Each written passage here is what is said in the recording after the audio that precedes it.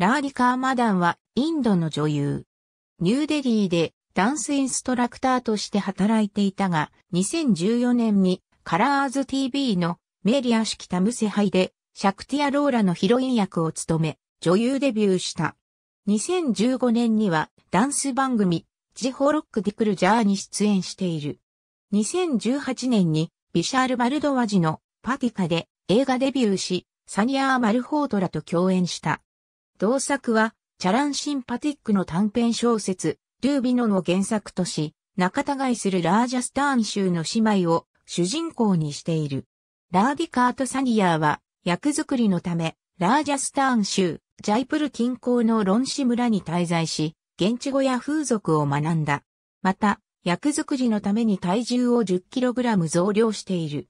ラーディカーの演技について、ラジャセンは、ラーディカーマダンは、この親分肌の役を演じることで輝いていると批評している。2019年にバーサン・バーラーの燃えよスーリアに出演した。同作は第43回トロント国際映画祭のミッドナイトマッドネス部門で上映され、観客賞を受賞した。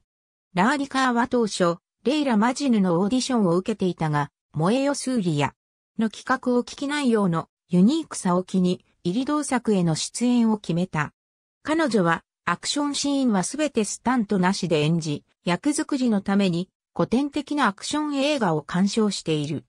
ファーストポストのプラディープメノンは、ラーディカーが演じたスプリが一貫性のない扱いをされているにもかかわらず、彼女が純真な意志と才能によって動くように役をマネージングしていると批評している。ありがとうございます。